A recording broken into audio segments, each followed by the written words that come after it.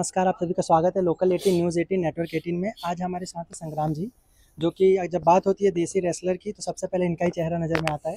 तो हम इनसे बात करेंगे कैसे देसी रेसलर्स जो हैं अपने आप को तैयार कर सकते हैं, किन चीज़ों का ध्यान रख सकते हैं। तो सर, आप कुछ टिप्स दीजिए पहले तो जो हमारे यंगस्टर्स हैं उनको। देखो भैया, देसी रेसलर नहीं, मैं सारे स्पोर्ट्स वालों को कहना चाहूँगा, जो गाँव से आते हैं, क्योंकि हम भी उसी जगह से आए हैं।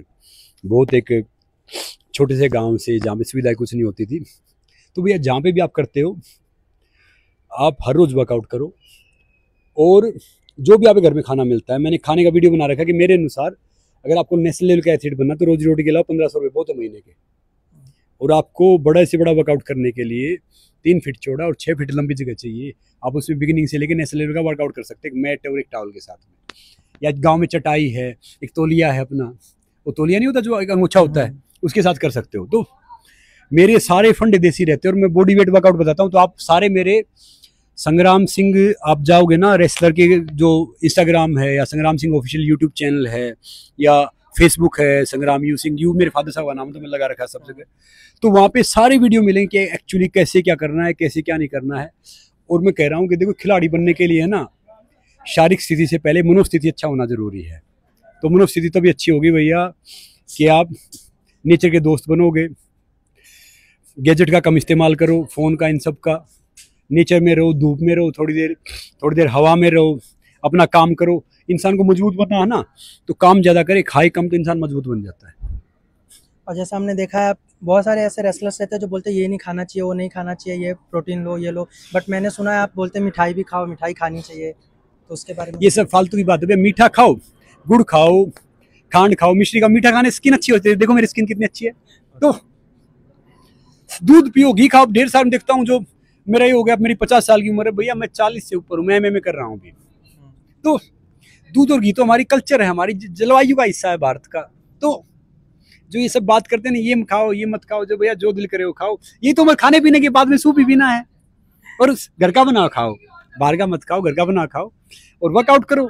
ये जो कहते हैं ना कि रात को खाना नहीं खाना चाहिए, ये आयुर्वेदा के हिसाब से ठीक है, मगर हम काम करते हम काम करने वाले आदमी, हम नौ बजे फ्री होंगे, दस बजे फ्री होंगे, खाना नहीं खाए, तीसरे दिन चक्कर आ जाएँगे। खाना खा के एक घंटे बाद सोना है। नहाने से पहले, खाने बाद एक नंबर जाना है, बाथरूम करना है, दो नंबर, दो टाइम खाने से पहले जाना है और घूमना है, वज्रा से बैठ लो, खाना हजम हो गया और खुश हो गए, सो खुश हो गए, उठो। ये सब वहम है, ये प्रोटीन और वो प्रोटीन और ये कार्ब, पहले हमारे दादा परदादा कांगे प्रोटीन खाते थे। आज तक ताकतवर हमसे। तो ये सब, अब खुद बताओ एक छोटी सी बात बता रहा हूँ मैं, बड़ी कमाल की चीज़ थी। किसी एक बड़े कवि ने लिखी थी कि अच्छी थी पगडंडी अपनी, सड़कों पर तो जाम बहुत है। फुर्से हो गई फुर्सत अब तो सबको यहाँ काम बहुत है। उजड़ गए सब बाग बगीचे, दो गमलों में शान बहुत है। दूध, दही, घी नहीं खाते, कहते डिब्बों में जान बहुत है। चाय के हो गए सब आदि, कहते इसमें आराम बहुत है। झुके झुके स्कूली बच्चे, बस्तों में सामान बहुत है। ज़िंदगी का जय नहीं पता और कहते चाँद पे जान बहुत है। अच्छी थी पगडंडी अपनी। सड़कों पे तो जाम बहुत है। तो भैया क्या है कि जितना देसी रहोगे नेचुरल रहोगे तो आप फिट रहोगे हेल्दी रहोगे। जितना चक्करों में पड़ जाओगे ना कोई भी बीमारी की दवाई लेने लग जाओ आप। वो एक दवाई ठीक हो, दूसरी आपको पकड़ लेगी, दूसरी लेगी, तीसरी आपको पकड़ लेगी। तो नेचर के दोस्त बनो। देखो डॉक्टर की अपना अलग अलग अहमियत है। भाई, कोई चीज़ होती है जिसमें डॉक्टर का हमें कंसर्न करना पड़ता है। किसी में आयुर्वेदा का कंसर्न करना पड़ता है। किसी में डिफरेंट डिफरेंट कंसर्न करना पड़ता है तो हेल्थ के लिए पैरामीटर यही है, आपका खुश रहना, आपका काम करना, आपका खाना खाना, जो काम करो उससे प्यार करो, खुश रहो तो बाकी सारी चीज़ कहते हैं ना कि मन चंगा तो कटौती में गंगा। ये फालतू की बात है भैया। अब और बच्चे बीस इक्कीस साल उम्र होती है, वो सारे कार, वो ये सब मापते रहते तो मैं बोलता हूँ तीस साल तुम्हें रेसलिंग करते हो गए। एमेच्योर प्रोफेशनल तो इसलिए कह रहा हूँ कि ज़्यादा उलझनों में, बंदिशों में ज़िंदगी नहीं जीनी चाहिए। जो दिल में आए, कर लो। जो काम करना हो, कर लो। ये तो ज़िंदगी।